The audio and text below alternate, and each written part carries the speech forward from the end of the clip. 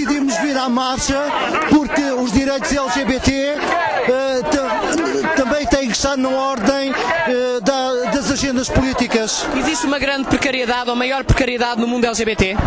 Existe, claro, porque enquanto houver preconceito, eh, as pessoas são preteridas e discriminadas nos seus postos de trabalho. É assim, quando a situação está mal, está mal, nós somos sempre os primeiros a perder o nosso trabalho, nós somos sempre os primeiros a, a perder ah, a promoção, nós somos... Quantas pessoas da vossa associação vieram?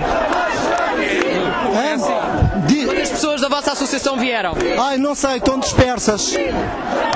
Estão dispersas e vocês, quais são as medidas que vocês gostariam de ver ah, comatadas, digamos assim, para baixar a precariedade, principalmente na comunidade LGBT? Eh, um- uma, uma, uma luta efetiva eh, nas escolas contra os bullings, eh, uma, uma aposta séria na, na- na educação das novas gerações.